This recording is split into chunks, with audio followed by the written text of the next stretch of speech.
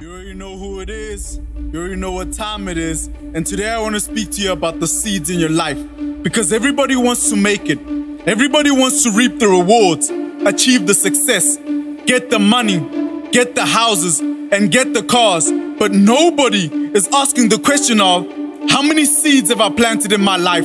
How many opportunities have I created?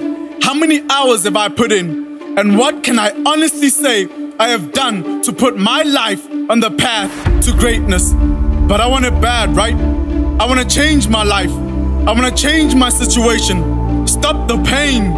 End the struggles. But I'm not doing no work. I ain't planting no seeds. I'm standing exactly where I was 10 days ago. Exactly where I'll be 10 days from now. And God forbid, exactly where I'll be 10 years from now. I need to wake up. I need to break the cycle. Get on my knees and start digging. Uproot the toxic weeds of fear. Remove the rocks of doubt. Mute the winds of hate. And prepare the soil of my life.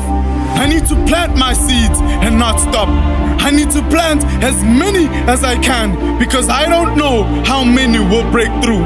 That last layer of soil needs belief, needs faith, needs determination, needs dedication, needs grind, needs grit, needs consistency, needs perseverance, needs heart, needs commitment, and needs God.